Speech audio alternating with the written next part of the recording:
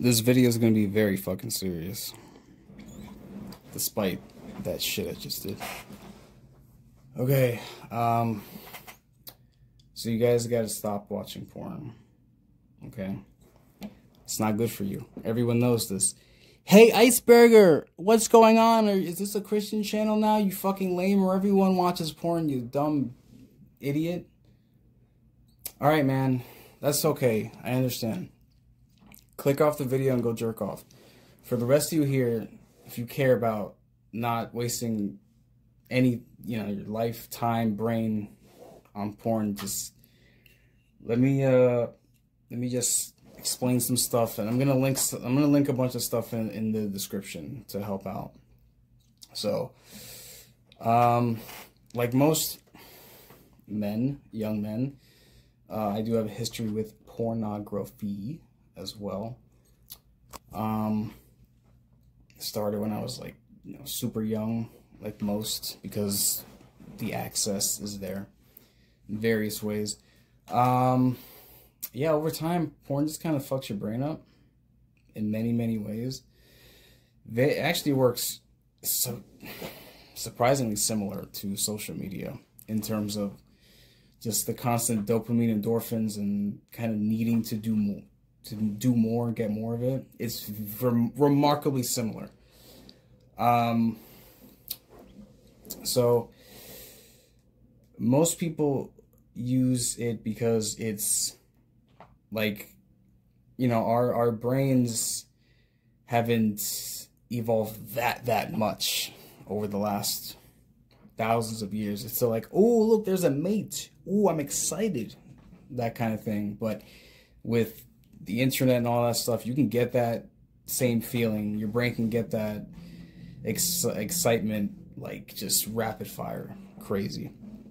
So when that happens, same, similar to other other stuff, your your your dopamine receptors kind of get fried, and it kind of gets easier to it's easier to mess them up as you go along. Basically, there's these these brain circuit pathways, whatever. They get kind of lubed up every time you kind of watch that stuff. So it's easier to just fall back into it, do what you do, and then be done, whatever. A lot of people like it because it's fun and it feels good when you're done. But you know that that joke everyone has, ah, aha, it's so fun. But when you're done, you see a black screen, you see your your shameful face, haha. Yeah, ha. So what happens is people use it to you know feel feel good essentially is is the point right? Um it's not really feeling good though. There's an example there's there's this book i'm gonna link like some stuff. One of the books one of the most important ones is called the easy peasy method which is basically a rewrite of this book about quitting smoking which kind of lays out what this activity does what kind of benefits there are what it means for your brain and what you should be doing going forward if you care about moving on from it. And this book, there's this example. I don't know if it's from the original smoking version too, but basically the example is watching porn to get relief is essentially like wearing shoes that are too tight all day. So then at the end of the day, you can take them off and go like, ah, I feel so relieved. And you put them on next morning to be too tight feel annoyed, and then take them off at the end of the day and just, ah, relief. What would feel better is not putting those shoes on in the first place, right? But that's kind of what these these these uh, circuit pathways do. You lube them up, you make it easier to get into this rhythm where if you feel the need to do this kind of stuff, you're anxious and you feel relief when you jerk off or whatever, right? It's not really relief though. It's just essentially it's a distraction from the stress that was caused by the porn to begin with. So it's this cycle that just kind of never ends. And it's uh it's not good. It increases the stress instead of helping with it. Um some people use it to deal with boredom again, it's a similar thing. You kind of fry your ability to feel good in, in everyday life so that normal things just become kind of boring. I'm realizing I, I mentioned a bunch of this stuff like in passing in my previous videos, but you know, it's all relevant here. Essentially, you make everything seem boring by just giving your brain like oh my god the the the mates that fit my brain exactly 100% oh my god all the time. I mean sh- shit how the fuck is your caveman brain gonna deal with that? It's gonna be like hey everything else is kind of boring. Let's let's check that out again you know? Um so it's not that people use it to people use it to deal with boredom but it actually causes that as well along with causing stress like i just said.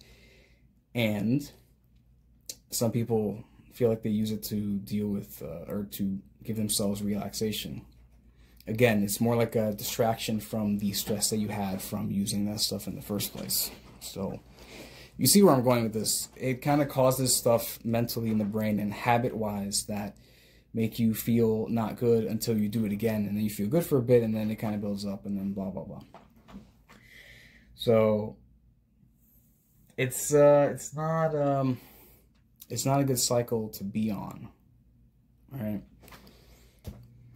Another book that has very valuable information on this is The Freedom Model, which is about addiction in general, mostly about drinking, but it applies to, to anything. The concepts apply to absolutely everything. Like I mentioned before, most people do this kind of stuff because it makes them happy or what have you. That's the thing with most addictions. Addiction is kind of a weird kind of a weird thing. It's kind of not.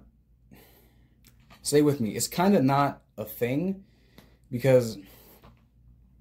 I mean, if you if you had like, I don't know, if you were like on heroin for like a week straight, I think yeah, there might be like an actual thing, but addictions, if you think about it, like if you love fucking jerking off or whatever, right? You love doing it all the time in your free time, right? But if you can go to Six Flags or something. Get the super pass, no waiting line, no waiting in line. You can go on roller coasters all the time. You're not going to be like, oh man, I wish I could jerk off right now. Or if you're, let's say your your grandparents come to visit, you have to sleep in the living room or whatever. You're like, oh man, I'm I'm I'm addicted though. I'm gonna jerk off anyway, right in the living room.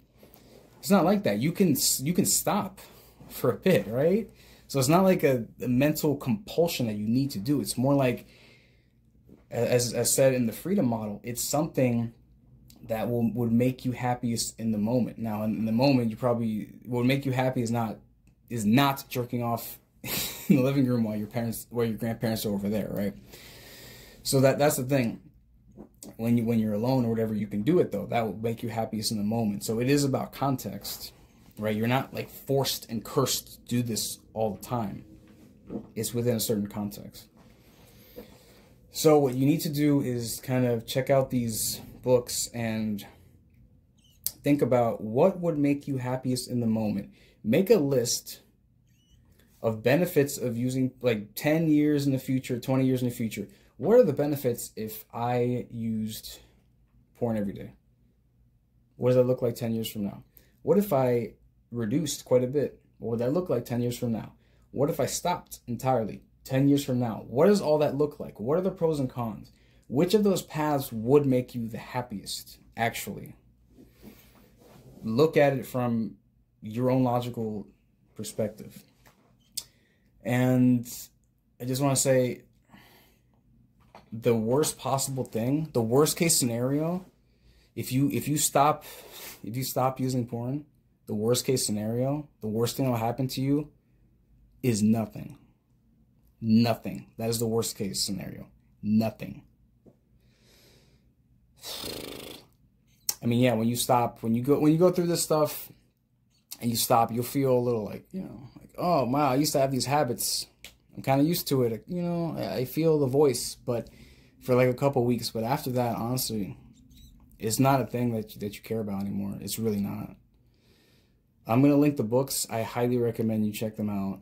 Um, if not, have fun jerking it, buddy.